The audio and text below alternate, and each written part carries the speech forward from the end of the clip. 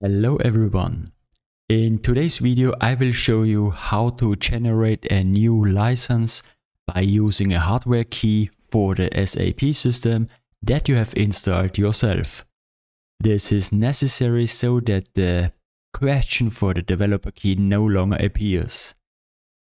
So here I have my image with an SAP system and I have already installed my SAP GUI and with a double click on this entry the SAP window opens.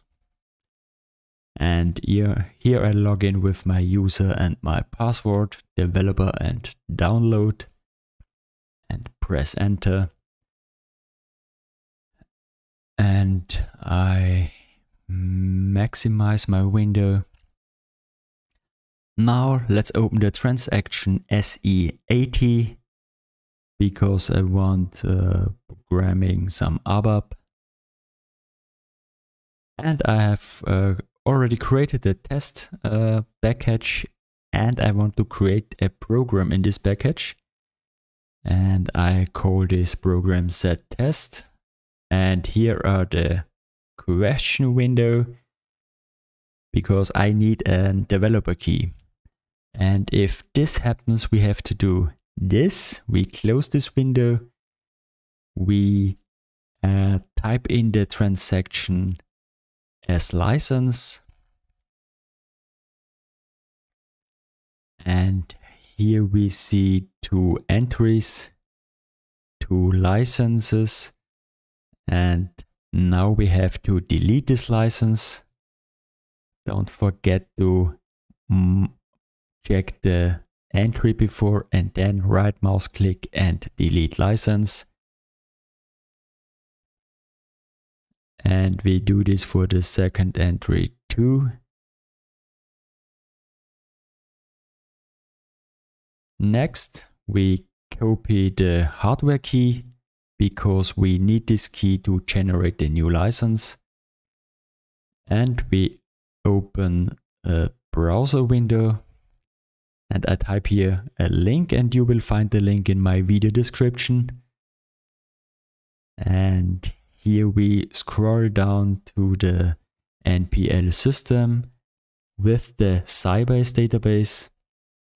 We check this entry, then we fill in some personal data and system info. So I type here custom code, my email address, and here we paste the hardware key.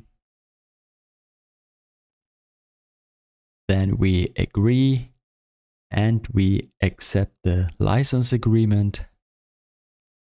And then we click on the button generate. Then we get a txt file and we go back to the license administration.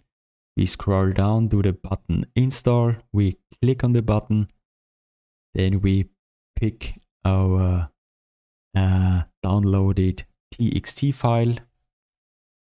Click on open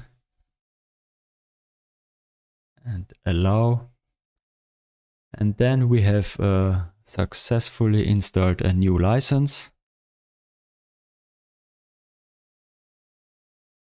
And uh, for the demo system. And now we go back to the transaction SE80. And now let's try to create a program again. I name it Z test, click on OK, and now we see the creation is uh, possible. So I click on save, then I pick my examples, example package and I have a transport request. And I can practice some ABAP now. Okay, that was it. Have fun with programming. If you like my videos, I would be happy if you give me a thumbs up. Subscribe to my channel so you don't miss any of my videos in the future.